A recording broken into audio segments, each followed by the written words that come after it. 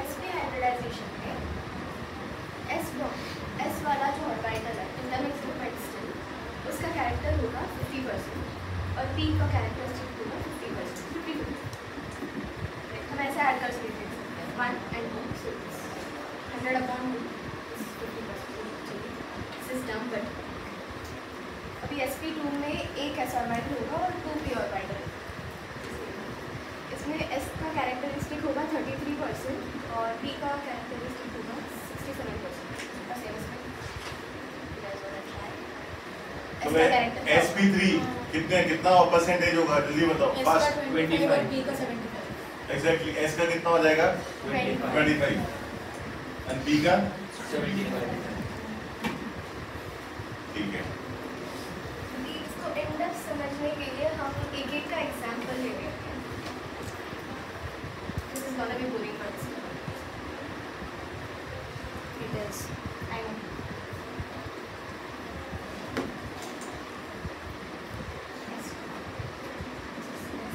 इसका एग्जांपल होगा बीसीएल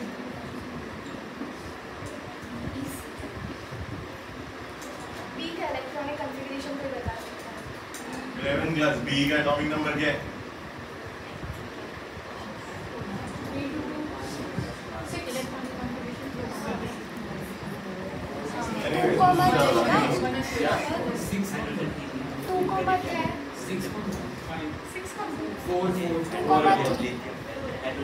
है हो।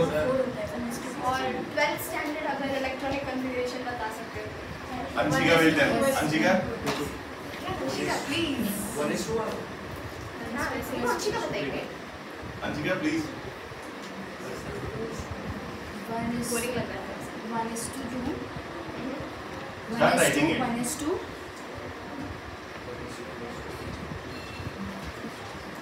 Two P two. क्यों. Two S two. हाँ ठीक है सी एल को मैं बता देती हूँ like one S two two P two like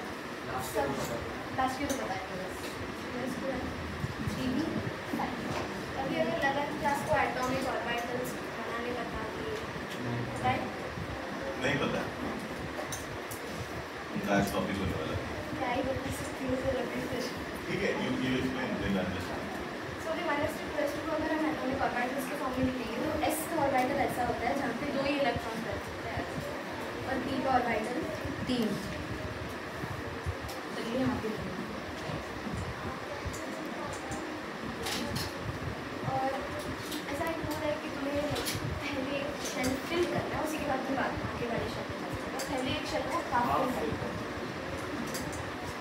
पहले एक शेल को हाफ़ फिल करना है उसी के बाद तुम सेकेंड इलेक्ट्रॉन डाल सकते हो तो अभी एस टू इधर दो इलेक्ट्रॉन होगा और इधर टू एस इधर भी दो इलेक्ट्रॉन है इसका तो कॉन्फ़िगरेशन फुल है दो बॉन्ड्स की बनाए तब नहीं हमें तो एक्साइटेड स्टेट में जाना है तो एक्साइटेड स्टेट में जाएँगे तो यहाँ पे पी और ऑर्बिटल का इंट्रोडक्शन आएगा सिर्फ़ तो माइनस टू एस और ये जहाँ पे कितने ऑर्बिटल्स होते हैं? छः। हाँ छः छः तो यहाँ के दो इलेक्ट्रॉन्स और यहाँ से एक इलेक्ट्रॉन जो जंप होके यहाँ पे जाएगा ये वाला जो है। So now it needs two electrons to fulfill its configuration right और ये किसको ट्राई करना नहीं नहीं वही इधर आएगा एक पी एस पे। एंड दोबारा एक और आएगा। एंड देन एक इधर आएगा एक नेक्स्ट पे और एक और इधर फिर एक फ़र्स्ट पे आएगा एंड देन सेकेंड पे। बस। And it needs one electron to fulfill its अभी ये जो आधे अधूरे हैं ये combine like hybrid orbital intermix हो जाएँगे to form a hybrid orbital जिसका हम नाम देंगे sp और sp with single electrons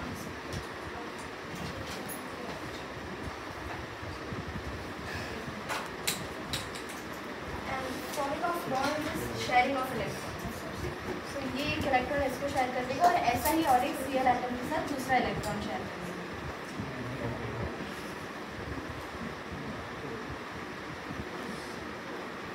ऐसा बनता है बी सी एल टू वाला बॉन्ड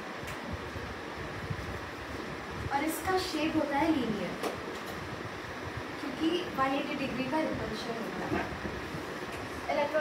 पोजीशन ऐसे फिक्स कर देता है जहाँ पे रिपल्शन सबसे कम हो। इसीलिए हाइब्रिडाइजेशन इस कारण के लिए भी यूज़ किया जाता है ताकि हमें एक एटम का जॉमेट्री पता चले या मॉलिक्यूल का जॉमेट्री पता चले। कम डाउन करना है एक- एक मिनट। सर हिस्ट्री हिस्ट्री के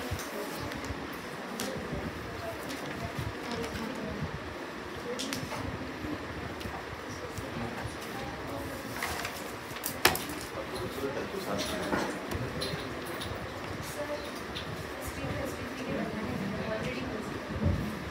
अच्छा आते हैं ना?